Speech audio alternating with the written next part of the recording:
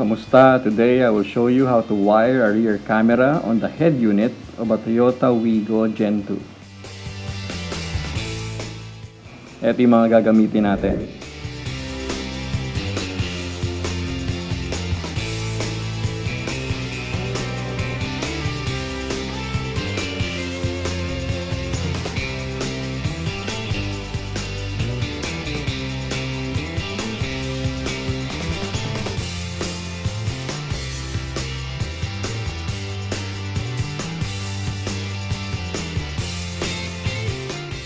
Remove a panel around the head unit.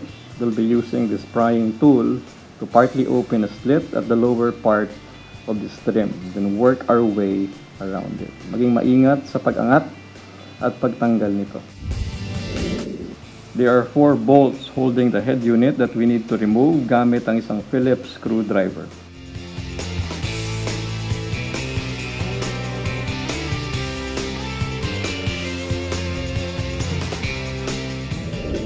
Bahagyang iangat ang unit from its bracket.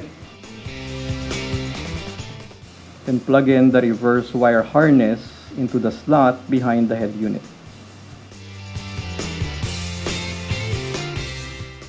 Connect one end of the RCA connector to the wiring harnesses RCA.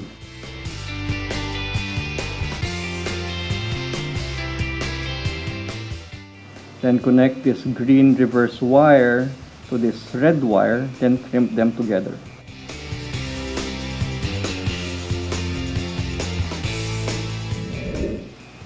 Put the rest of the RCA cable behind the head unit.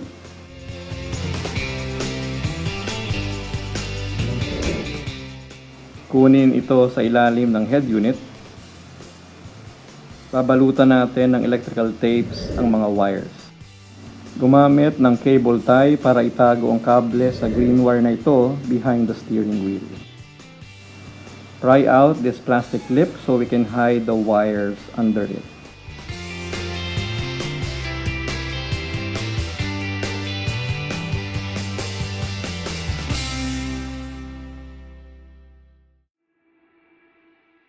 Tatanggalin din natin ang front door scuff plate near the driver's side. Use the cable ties to organize the wires.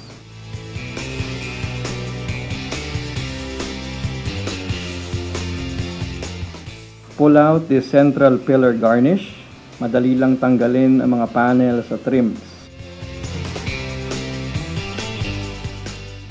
Yung rear door scuff plate naman ang aalisin natin.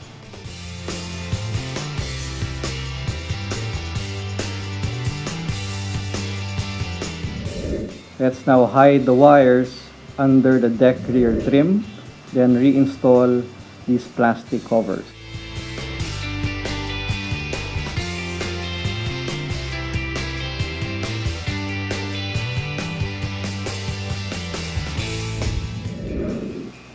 I already tested the reverse wire harness on this head unit kanina, so I know it's working. So let's put back the four bolts, then central panel.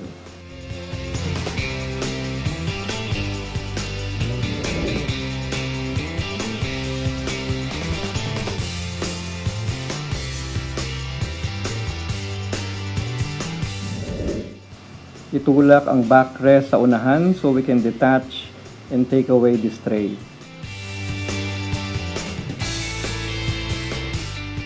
We're still in the process of hiding the wires.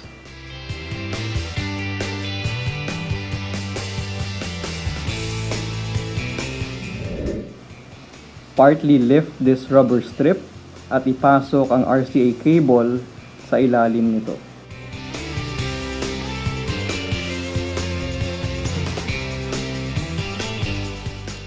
This is the diagram that came with the harness.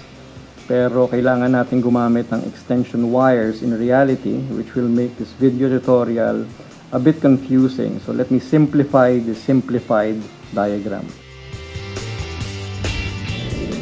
Let's imagine that this is the head unit. Ikinabit natin yung harness sa likod nito, then connected the RCAs and green and red wires. Yung dulo ng RCA connectors, ikakabit natin sa RCA ng rear camera, yellow to yellow.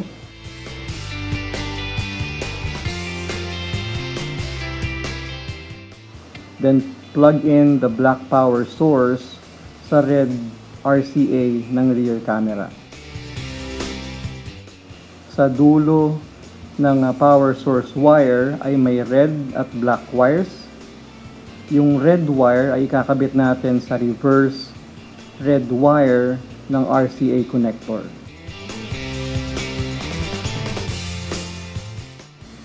In reality, dito na tayo gagamit ng extension wire before we can connect this to a white cable of the reverse light sa likod ng sasakyan. Let's imagine that this uh, flashlight is a reverse light. Kukonekta natin yung uh, wire na yon sa white cable. Now this uh, black wire is the ground wire na ikakabit natin sa black cable of the reverse light. I made a video tutorial on how to remove the rear bumper. I will put a link for that on the description below so you can watch it. I will now drill a hole in between the plate light wiring harness to install this camera para mas magandang tignan. It's my first time to use an electric drill. Madali lang pala ito gamitin install this camera like so secure the fastener tanggalin ang bolts on the rear lamp cover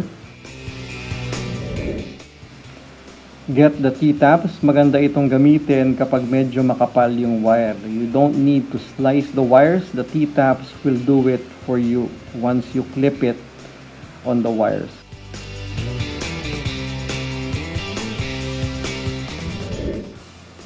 We have tied the red wire from the RCA connectors and the power plug wire together kasama yung extension wire. We will use uh, T-tap connectors on both ends and crimp them. Kinabit ko na rin itong uh, yellow T-tap na ito to the white wire on the reverse light. Ito yung kabilang dulo ng pinagmula ng extension wire. Babalutan natin ng electrical tapes yung mga wires later. I'm now crimping another T-tap on the black or ground wire of the reverse light. We'll now connect these wires, blue to blue, yellow to yellow.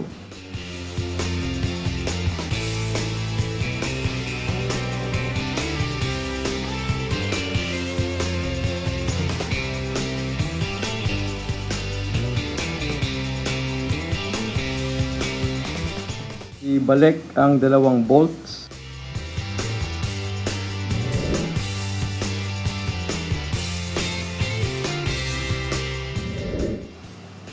Connect the rear camera's RCA to another RCA connector. Ikabit din ang black power plug to the red plug of the camera.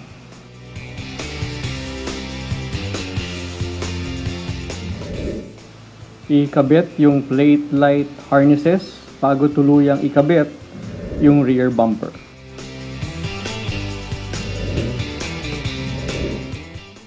Ilagay ang mga clips.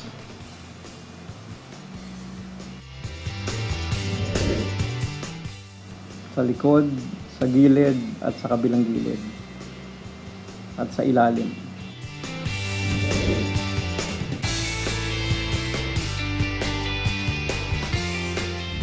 ibalik ang vehicle's plate number and tray sa likuran.